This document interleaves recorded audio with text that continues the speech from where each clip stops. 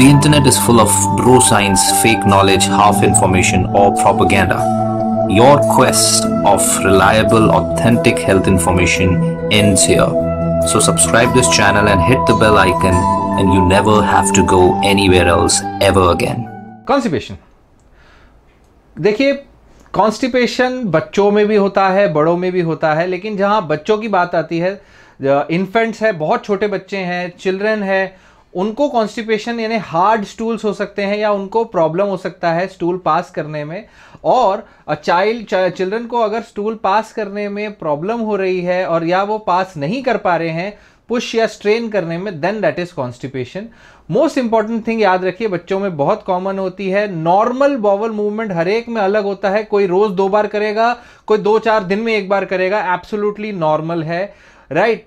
पहले महीने में बच्चे के, बचपन में बच्चे इन्फेंट जो है, उनके बावल मूवमेंट एक महीने में, एक दिन में रोज एक, रोज होता है, हर दिन होता है एक महीने के बाद बच्चे एक दिन कुछ दिनों में एक बार जा सकते हैं या हफ़्ते में एक बार भी जा सकते हैं और ये बहुत डिफ़िकल्ट है ये बताना कि स्टूल्स पास होना थोड़ा डिफ़िकल्ट हो जाता है बिकॉज़ उस समय उनकी एब्डोमिनल मसल्स वीक होती है राइट right? और बच्चे बहुत ज़्यादा स्ट्रेन भी नहीं कर पाते और उनके उनका बहुत ज़्यादा लाल हो जाते हैं जब वो अगर बॉवल मूवमेंट नहीं हो। कई बार ऐसा होता है।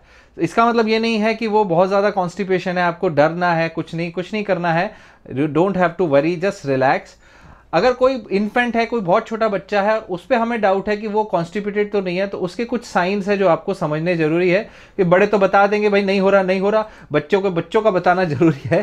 तो बच्चों के लिए क्या होगा? बच्चे फजी हो जाएँगे बिज़ी फजी यानी बहुत ज़्यादा स्पिट करेंगे। मुँह से बहुत ज़्यादा बार खाना बाहर निकालेंगे, अगर वो कॉन्स्टिपेटेड है एक्चुअली में।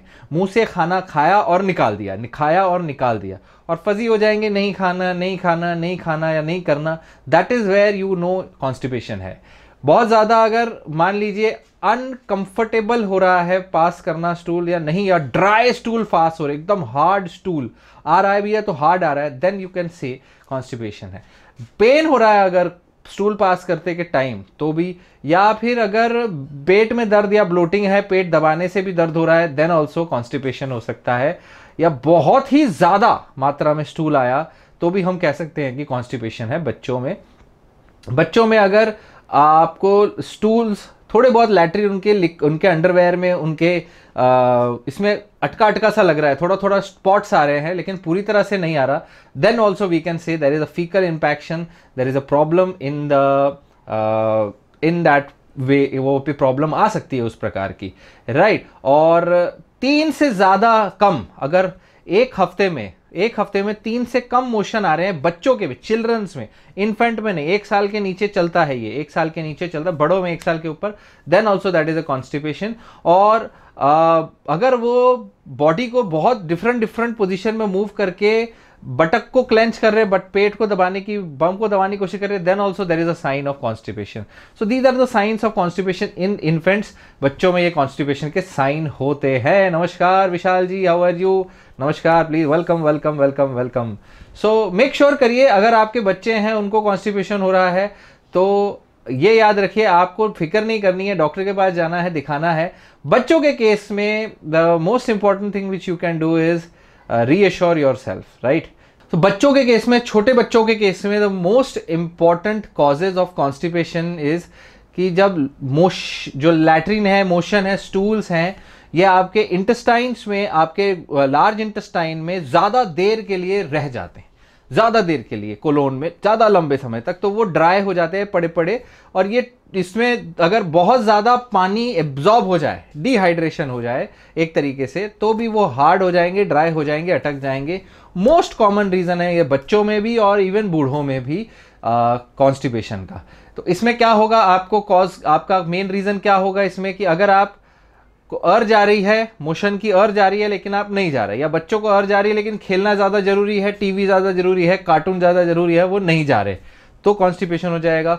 आप बहुत ज़्यादा फाइबर नहीं खा पा रहे हो। ठीक मात्रा में फाइबर नहीं खा रहे हो, ठीक मात्रा में पानी नहीं पी पा रहे हो, ठीक मात्रा में अगर आप सॉलिड फ़ूड पे स्विच नहीं कर पा रहे हो।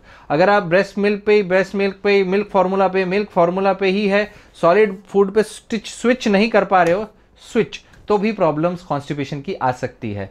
अगर आप सिचुएशंस को देखें, बच्चे ट्रैवल करते हैं स्कूल शुरू होता है स्ट्रेसफुल कोई इवेंट हो जाता है तो भी उनको कॉन्स्टिपेशन हो जाता है। इसके अलावा ये तो हो गए simple causes day to day causes इसके अलावा एक्चुअल बीमारियाँ भी होती हैं, जिनके वजह से कॉन्स्टिपेशन हो सकता है। जैसे कि अगर कोई ऐसी डिज़ीज़ हो जाए जो बॉवल मसल्स या बॉवल इंटेस्टाइन्स के नर्व्स पेट की अथड़ियों के नर्व्स को या उसकी मसल्स को अफेक्ट करें तो कॉन्स्टिपेशन हो सकता है। मेडिकल कंडीशंस कई सारे होते हैं कुछ दवाएँ होती हैं राइट जो इसको कर सकती हैं। इसके लिए बच्चों के लिए बहुत ज़रूरी है टॉयलेट ट्रेनिंग बच्चों के लिए बहुत ज़रूरी है कि वो अपने बॉवल मूवमेंट्स को कंट्रोल करना पहचानना सीखे। जब भी बॉवल अर जाती है उसको जाके आ, पास करें। It's very very important right और अगर बच्चे नहीं यूज़ करना चाहते स्कूल का पब्लिक टॉयलेट या ऐसा चीज़ तो फिर आपको थोड़ा सा आ, स्कूल के टॉयलेट की कंडीशंस बेटर देखने के लिए बातचीत करनी पड़ेगी। That is actually one reason वो होता है बच्चों के साथ राइट right? सो so, बच्चों के केस में आप क्या कर सकते हो? Very very important point home care life style changes avoid constipation obviously उनको एक्स्ट्रा पानी देना है एक्स्ट्रा फाइबर देना है जूसेस देने हैं जो उनको हेल्प करेंगे। दो महीने के ऊपर का बच्चा है तो दो से चार आउंस या डेढ़ सौ एम के आसपास आप फ्रूट जूस पचास से सौ एम जूसेस दे सकते हो। जूसेस में आप कोई भी जूस ग्रेप जो एप्पल चेरी राइट पियर इस तरह के जूसेस दे सकते हैं दिन में दो बार भी।